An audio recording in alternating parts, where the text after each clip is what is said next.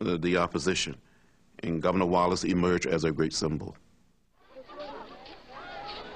In early 1965, Selma, Alabama became the site of a civil rights campaign to enable black voters to register. On Sunday, March 7th, 600 people set out for the state capitol in Montgomery, 50 miles away, hoping to gain national attention. Wallace had issued an order to prevent the march. His state troopers were waiting at the Edmund Pettus Bridge at the edge of town. It'd be detrimental to your safety to continue this march, and I'm saying that this is an unlawful assembly. You have to disperse. You are ordered to disperse, go home, or go to your church. This march will not continue. In the beginning, I thought we would be arrested and just taken to jail. Uh, but when I saw the troopers putting on their gas masks and raising their sticks and the bullwhips, those moments when the troopers came toward us, I knew then we would be beaten.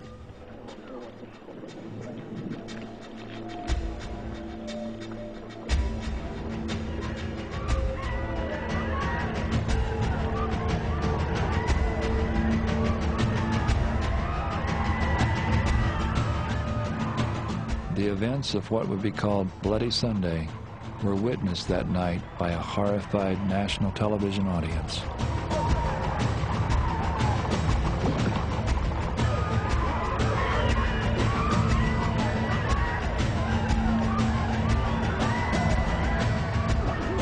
Wallace never intended for that violence to take place on that Sunday in Selma.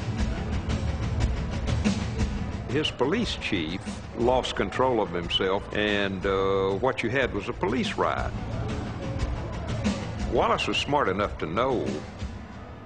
I mean, he was the one who invented backlash politics, and he didn't want to create his own backlash against his politics by having this type of thing shown on the news nationwide.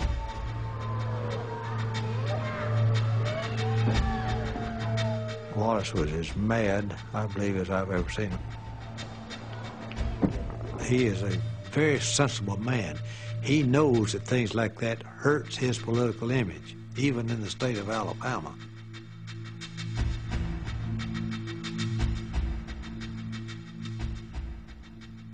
The violence in Selma had immediate impact.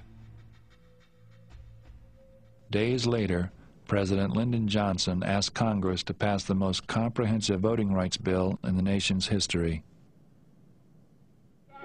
Then, a federal court in Alabama ruled in favor of the protesters.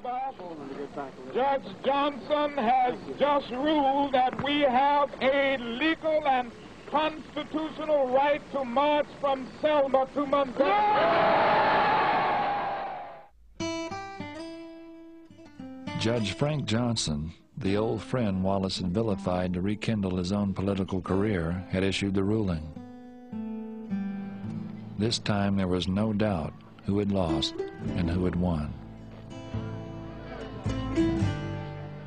On March 21st, thousands of marchers from across the country set out from Selma, arriving at the steps of Wallace's state capitol in Montgomery four days later the great outpouring of press, the great outpouring of people of stature from all areas of the country that got into the march, I think showed all of us around Wallace that uh, Wallace had lost that battle.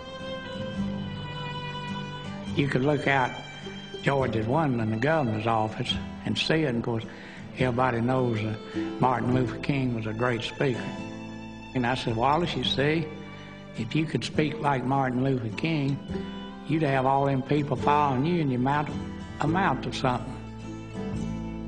Wallace's aides joked that he was looking at the inauguration crowds of the future. They were not far from wrong. Over the next decade, hundreds of thousands of black voters would register in Alabama and millions more throughout the South.